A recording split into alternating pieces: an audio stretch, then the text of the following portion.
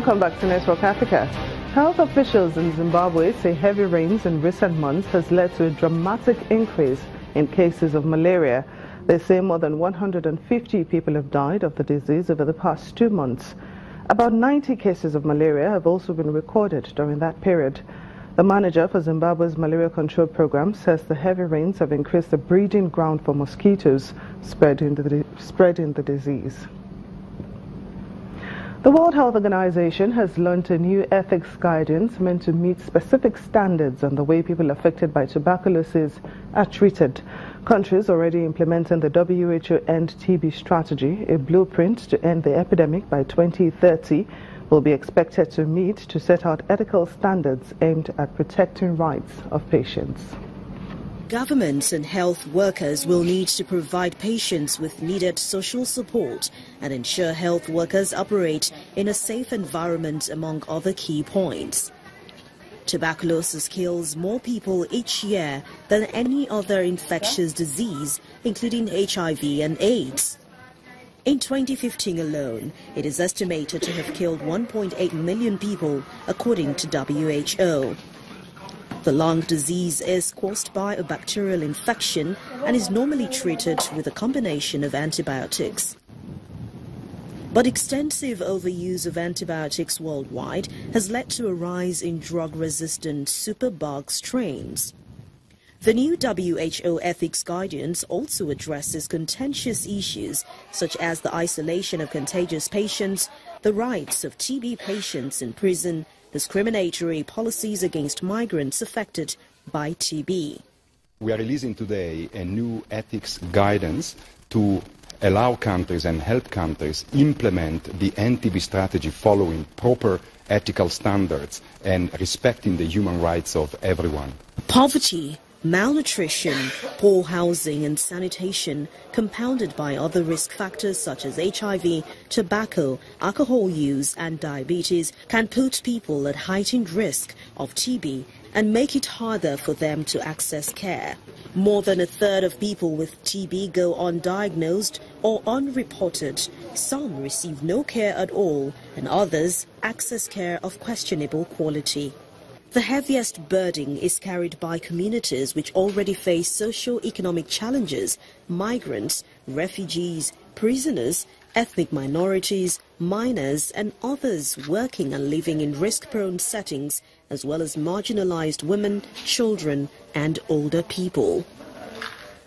According to WHO statistics, six countries account for 60% of TB cases today, with India leading the count, followed by Indonesia, China, Nigeria, Pakistan and South Africa.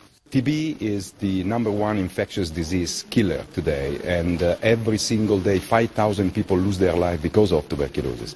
And TB hits uh, particularly those vulnerable populations that include migrants, refugees, prisoners, uh, people who are marginalized in their societies. Tuberculosis is spread from person to person through the air. When people with lung TB cough, sneeze or spit, they propel the TB germs into the air. The person needs to inhale only a few of these germs to become infected. Ghada Wali's graphic designs appears to have gained prominence in Europe, but the 27-year-old Egyptian artist says her heritage has been a major factor contributing to her work.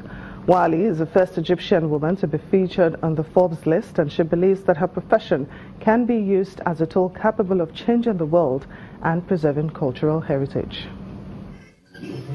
Wali is the first Egyptian woman to be featured on Forbes list of 30 under 30 the arts and she believes that her profession can be used as a tool capable of changing the world and preserving cultural heritage. Wali spoke from her family home in Cairo about her journey to the limelight and showed off some of her award-winning projects. She says she turned her hobby of drawing into a career and later moved her talent online, where she's created a variety of work, including digital landscape of portrait, interactive campaigns, and educational material, mostly based on her heritage and societal upbringing. Her fortune took a turn when she went to Florence, Italy to study for her master's degree in graphic design. There, her work caught the attention of one of her professors who encouraged her to apply to the US-based Business Magazine's annual tally. After a long and competitive process, she received an email from the Forbes editor saying she had been chosen out of thousands of applicants. To me, this is an honor, and I believe it is the first time an Egyptian is featured on this list. I'm very happy that the work I submitted is related to Arabic, related to the Egyptian identity. So it makes me very happy that even the work I was awarded on was projects related to my identity. Prior to the Forbes accolade, she won the Society of Typographic Art STA 100 Award in 2016, a design competition based in Chicago which looks for the top 100 typography design projects from around the world. The artist says she is anchored by the need to preserve her identity and the heritage from which she came. Wali has designed a 21st century Arabic dictionary called Let's Play, which aims at simplifying the teaching of the Arabic language in order to break through language barriers. She calls it a book with Legos, allowing the user to feel the structure of the letters while learning the language. We need solutions in different areas because our language is getting extinct and our heritage is also becoming extinct. If we do not preserve, document, or develop our identity, I believe it could die because we aren't keeping up with the advancements happening around the world. Let's Play is still a prototype and Wali is working on producing it for real-life educational purposes. If successful, the project will be translated and applied to various languages around the world. During her year-long master's program in Italy, Wali had been working part-time for numerous clients back home. Today, having become a somewhat local celebrity, the clients range from agencies, brands, film production houses, and schools. Of course, it will differ if it's a brand that wants to deliver something on a product or a startup or school. So the message and how to deliver it differs. Wali's latest venture with a local production house has her designing and producing a movie trailer which she hopes will breathe new life to the Egyptian film industry. And that's it on Network Africa. Thank you so much for watching. I'm Temi Tokwe Fagbemi.